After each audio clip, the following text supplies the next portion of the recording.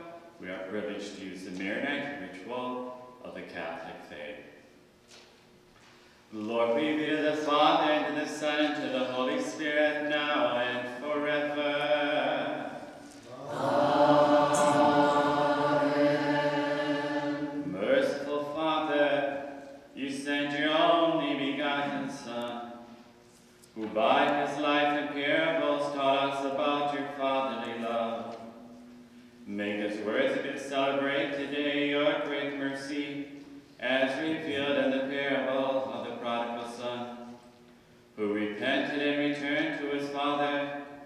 Like him, bring us back from the exile of sin to your fatherly house, that we may glorify you, your own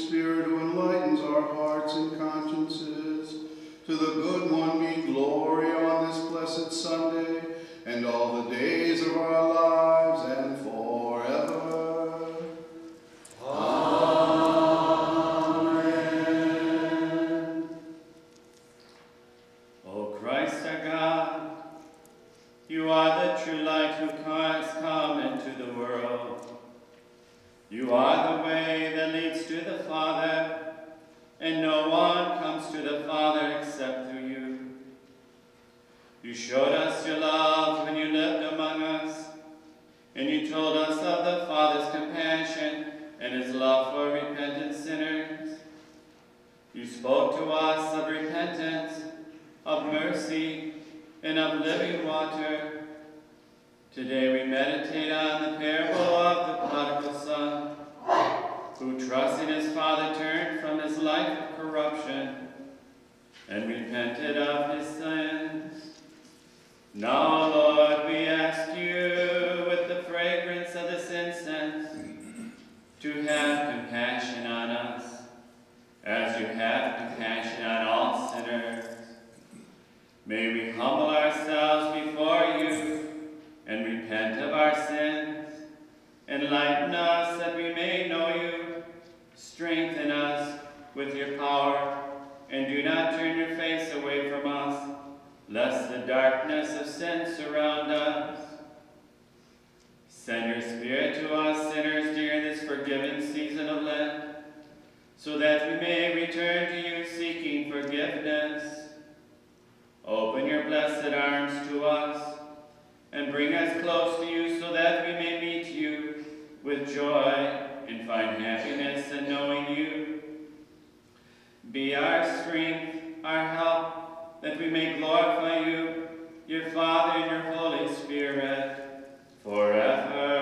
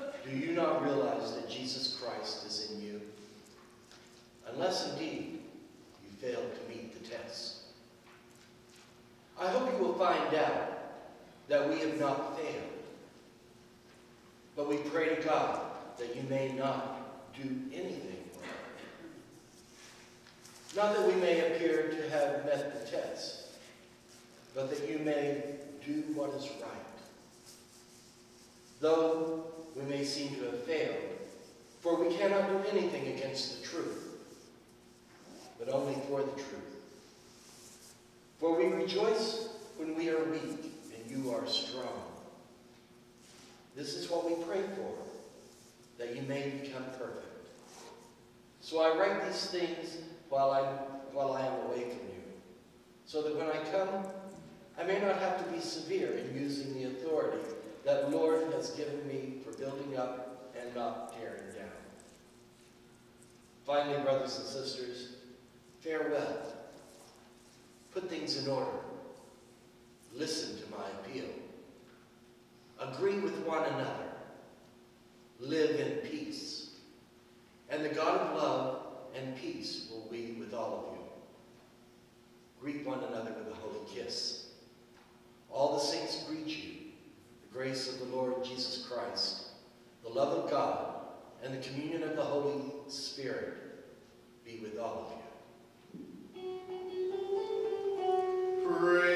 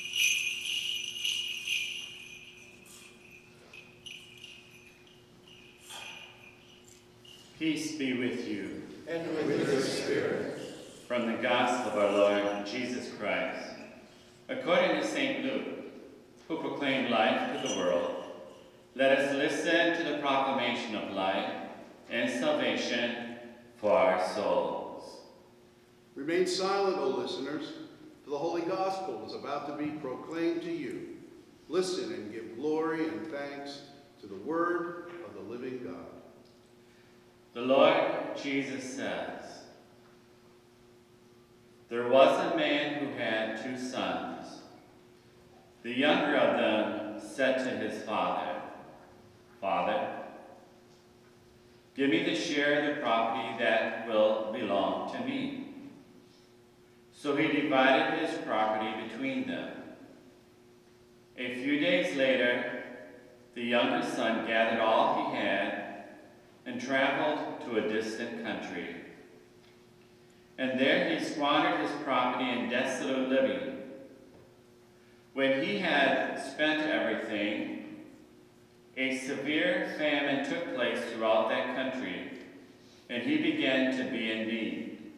So he went and hired himself out to one of the citizens of that country, who sent him to his fields to feed the pigs. He would gladly have filled himself with the pods that the pigs were eating. And no one gave him anything.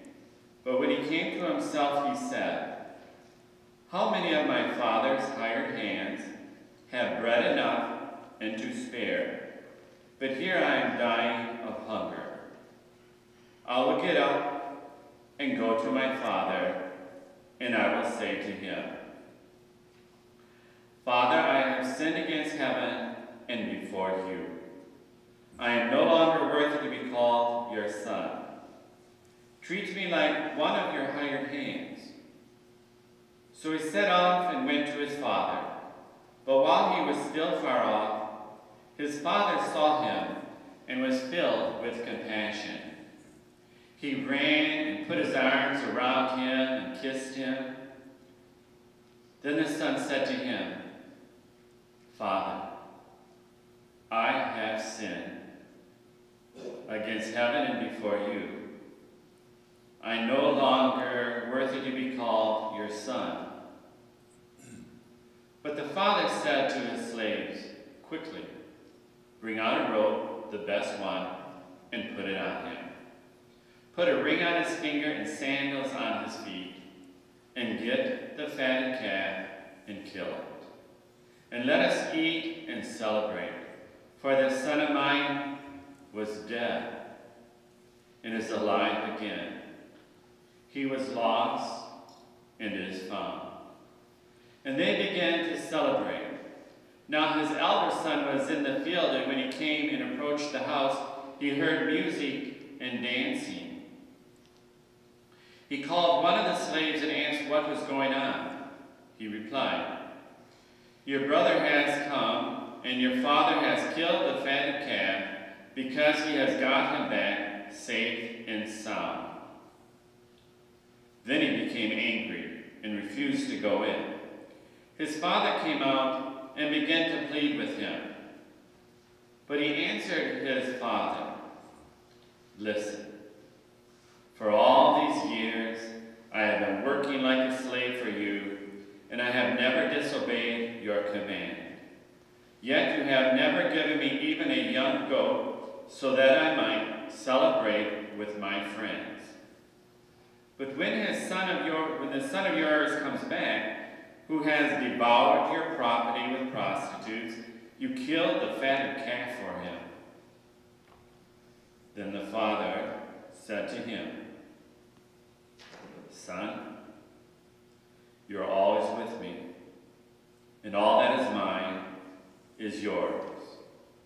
But we had to celebrate and rejoice, because this brother of yours was dead and has come to life. He was lost and has been found. This is the truth, peace be with you. Please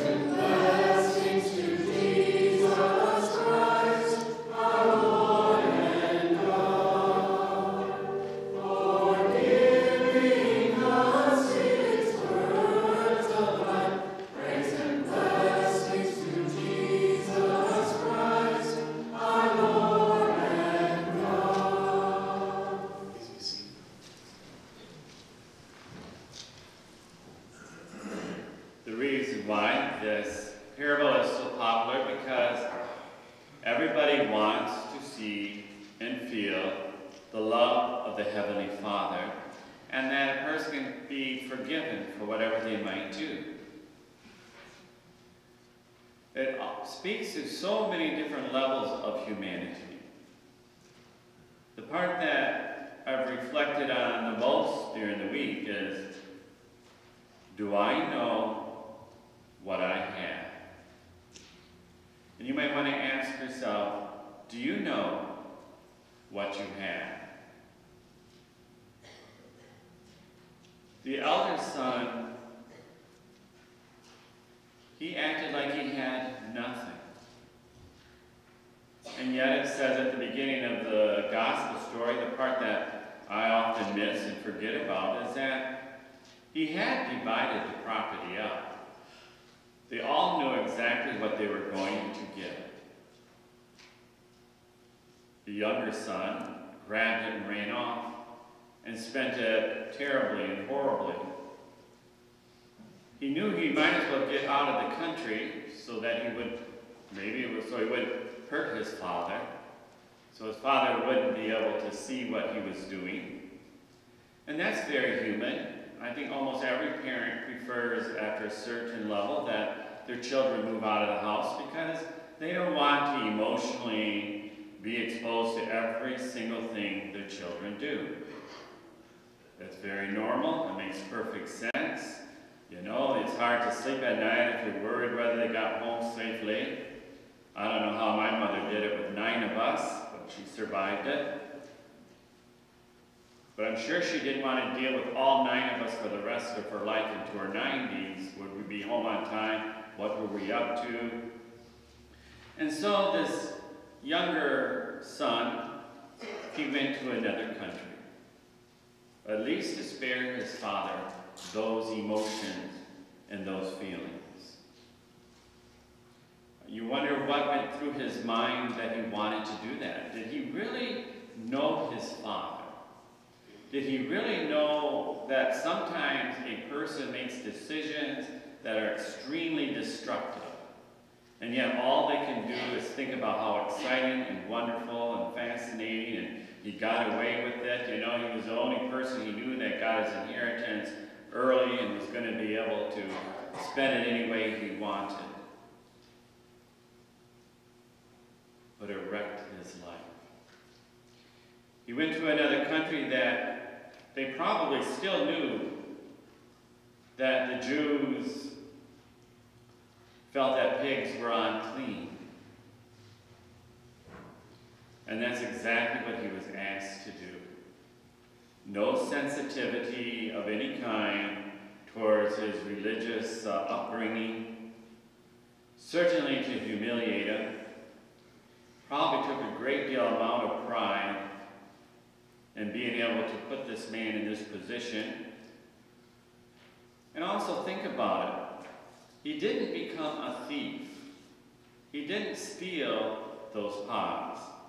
It could be because if he did, he would have been killed immediately. Still, in the world, we'll find extreme measures taken for somebody who does steal, like removing their right hand, which makes them impossible to be employed. But he came to his senses. And he thought, even if I was at the same level as I am right now, like a slave, I would still have it better with my Father. And I think that's very profound in the sense that we all, many times have the temptation, or we know people who have been tempted, that maybe my life is better without God in it. I'm angry at him. He doesn't do what I want him to do. He seems to have failed me on so many levels. And those are very human feelings. There are ways in which we are apt to experience that at sometimes in our life because we have to mature and grow up in our experience in our relationship with the world around us. There are times when teenagers hate their parents. But are you better off without your parents or with them? And there are extreme situations where they might be. But this man had just been given everything. It didn't seem like it was logical to have this kind of attitude, except that there were things that he wanted to do that were against the commandments of a family and the commandments of God. And it didn't work out. And he realized that he would be better off working for his father. Not even to be a son, but at least to have enough bread to eat, and he goes back. This is a reminder for all of us and for many people who aren't here, that how far, no matter how far we have fallen away, no matter how distant we have walked away from the fatherly embrace of God, we can come back and we don't have to be humiliated in the role of being a slave. We come back and we are again made his child. When I hear confessions, I often include the prayer that the Lord never grows weary and he never goes, gets tired from listening to his children return to him. And in some ways, I was thinking that this parable could almost be outdated. Because in many ways, people can live almost any way they want, anywhere, any place, and they don't feel like they have lost out on anything in relationship to their parents. And it's also true that because of uh, our longevity, we have to struggle with things, things much longer. When people only live to be like average age was maybe in the late 20s and 30s, how long is how long is that to suffer? But now that we're making it right up to almost 100, we can suffer for a long, long time. And that brings me to the elder son. He didn't even know that he could have had a party and celebrated, that he could have asked for a calf to be killed to have time partying with his friends. He didn't even realize and he didn't know how much he was loved because all he was thinking about was the resentment that he had to still work and his brother wasn't doing a thing. In his mind and his projection, he could not see and feel the anguish of his brother. The part that I want to truly address is this anger. That we can live a long, long time still being angry at something that was done to us when we were a child. Still being resentful for a careless word of our parent or not having to live up to our expectations that somehow we were robbed of the love that we felt we needed to grow into a healthy and emotionally strong adult.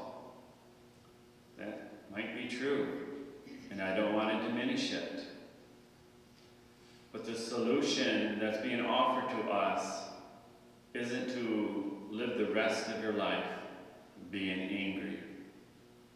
All of us have had taken on responsibilities that were painful to take on consume our energy and our emotions, and yet are surrounded by people who shirk those responsibilities. There's always somebody out there that wants everything for nothing, and they want you to do it for them. There is this equation in life where this tension and emotion is a part of it. And the Father, He went out to him and tried to persuade him to come in. And it doesn't even say that he went in. The younger son, he was there with a beautiful ring and a robe on, enjoying delicious food. Sometimes we rob ourselves of the most wonderful things in life because we won't go in there because we're angry and mad at someone that the food tastes exactly the same, whether it's for the other person or for you, if you're at the same table. And all the possessions that the father had was with the elderly, elder son also had. But he couldn't feel and experience this because he had let unresolved anger control his life. Many times, we are heavily burdened by things that we see that are not fair, and they're not. I'm not trying to make anything look fairer than what it is. But you have a choice. Grab what you have and run away, and then you wind up losing everything. Or let the Father come out and talk to you. And maybe you've talked about it over and over and over again. But we have to strive to let the story end differently. Do I know what I have? You know, there are, and I'm very much aware that there are millions of people out there that have almost nothing. And yet they're happy. So it can't be the possessions that we want, that we want to start to depending on to make us happy, or a certain amount of status. It comes back to the whole reason why he told this parable. If you want to be free, if you want to be able to walk into place where this party is taking on, in this sense I'm going to say the kingdom of God, you have to let go of these things. And you can't do it intellectually. You can't be bribed into it. Somewhere along the line, it has to be simply the grace and the compassion of God. Otherwise, your blood pressure will always shoot up in different circumstances. You will walk through life resenting this, resenting that. We have to listen to the voices that don't affirm our anger, but solve our anger, that releases the anger, that puts a deeper meaning in it, that allows the heart to begin to love again. And the healing can take place when we realize how much the Father has to offer us. And as the liturgy constantly reminds us, the exchange. My bitterness, my resentment, my anxieties, don't run away. Keep at it. Lean on the Lord. Offer time up for prayer. Remain faithful and committed to what God has asked you to do, and you will show up on the other side of the darkness. I'm glad they didn't say whether the son walked in or not, because we have to resolve that in our own life. That's for us to figure out. Do I walk in or do I walk out? Do I live up into my 90s with bitterness or do I let it go and be able to laugh, be able to enjoy, and overcome all those little cuts that we get through life? Not enjoying the cuts, but not letting them tear us down and bleed to death.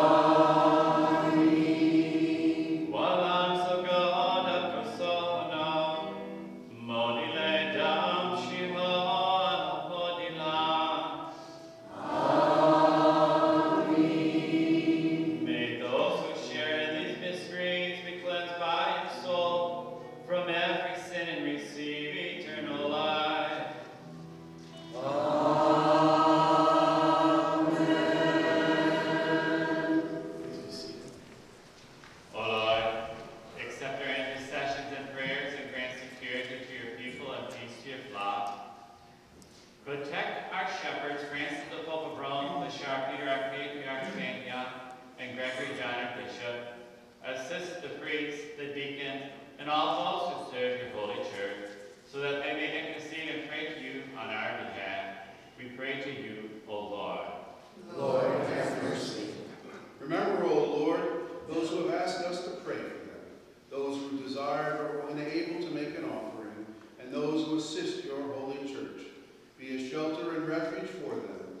are the Savior of all. We pray to you, O Lord. Lord, have mercy. Remember, O Lord, the civil leaders in our country and throughout the world. Enlighten their consciences and bring security and peace to your people. We pray to you, O Lord. Lord, have mercy. We pray for all those who struggle with chronic illness, anxiety, and pain in their lives, that they will find healing and comfort in the Lord. We pray to you, O Lord. Lord, have mercy. We pray for peace throughout the world, especially the Middle East and Africa, and an end to war and all acts of violence and hatred. We pray to you, O Lord. Lord, have mercy. We pray for an increase in vocations to the priesthood and a consecrated life to serve the Maronite Church. We pray to you, O Lord. Lord, have mercy. Remember, O Lord, the Holy Virgin Mary, Mother of God, the prophets, apostles, martyrs, and confessors, Saint Joseph, Saint Jude, and Saint Mary, and all the saints. Assist us through their prayers and make us worthy of their reward. We pray to you, O Lord. Lord, have mercy. Remember, O Lord, the righteous fathers and teachers who have gone to their rest among the saints. Remember those who diligently carried your gospel throughout the whole world and confirmed your holy church in the true faith. Assist us through their prayers and strengthen us in your love.